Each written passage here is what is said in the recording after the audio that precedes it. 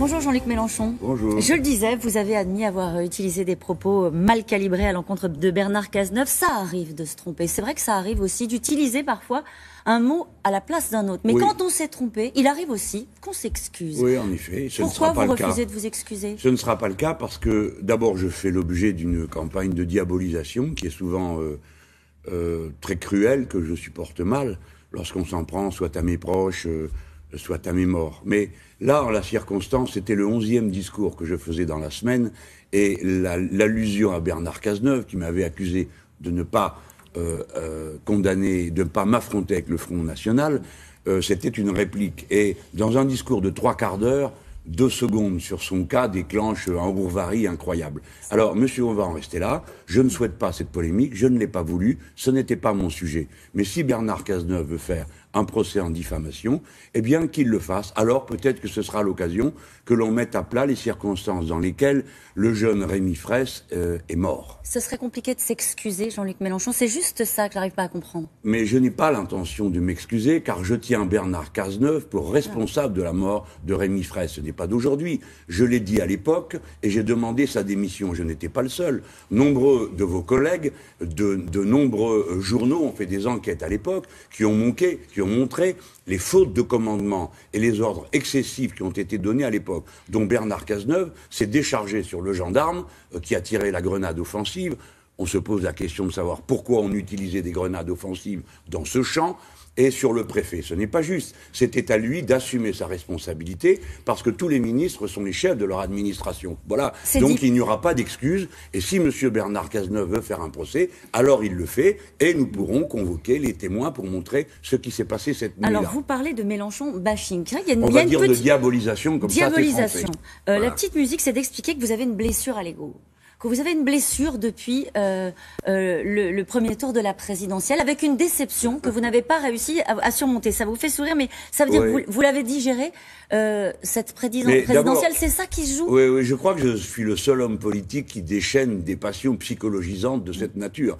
On, m'examine, on, on m'ausculte mon caractère parce que je suis un méridional, je parle avec les mains et on voit mes sentiments euh, sur mon visage. Mais, Madame Caroline Roux, j'ai pas de mal à vous dire que une demi-heure après avoir compris que j'avais raté le deuxième tour de l'élection présidentielle à 600 000 voix, non, je n'étais pas d'humeur à faire la fête, sortir les confettis et boire le champagne.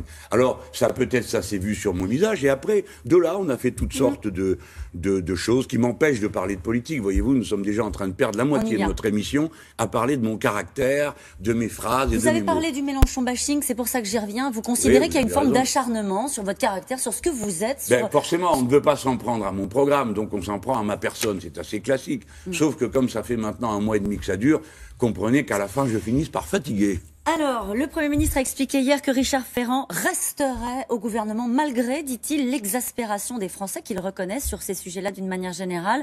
Euh, il dit il n'est pas mis en examen, il n'est pas dans l'illégalité. Ça vous suffit comme explication? Euh, ça me convient parce que tant que cet homme sera là, il sera un discrédit pour tout le gouvernement. Donc les Français voient qu'entre ce qu'avait dit M. Macron et ce qu'il fait, il y a déjà un océan. Et en effet, M. Macron est assez largement une illusion.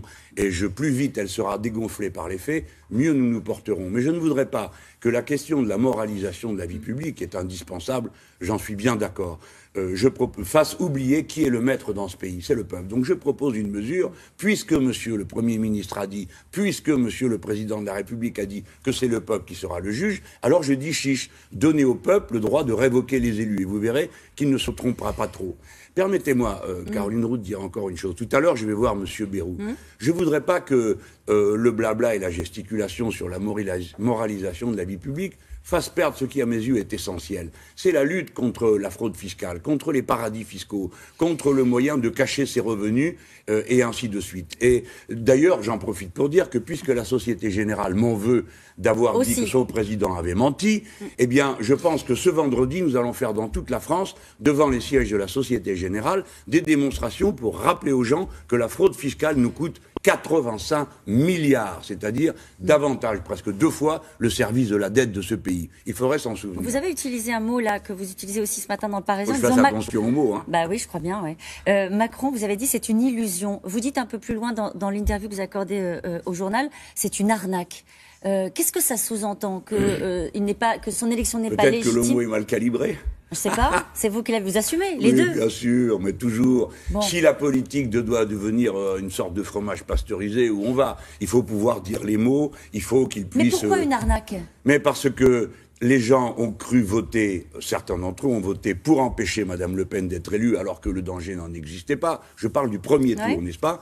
Euh, ensuite, d'autres ont voté pour lui euh, parce qu'il pro- il proposait un renouveau de la politique, et ce sont des apparences. Sur le fond, il va faire pire que Hollande et Sarkozy réunis, puisque sa première réforme, c'est celle du Code du travail. Or, le Code du travail, ce sont les protections quotidiennes des salariés. Et vous voyez qu'il a nommé Premier ministre un homme qui est le représentant du lobby nucléariste de ce pays. Il y a 19 réacteurs qui arrivent en fin de vie pendant le quinquennat. Vous figurez que ces gens-là vont faire face à ce problème autrement qu'en disant, bon, on continue. Et Voilà pourquoi je c'est dis c'est équipe- une arnaque. C'est une équipe qui s'appuie sur un programme qui était celui de la campagne d'Emmanuel Macron. Hier, on a entendu le Premier ministre dire à propos de la réforme du Code du travail, soyons bien clairs, elle sera appliquée in extenso.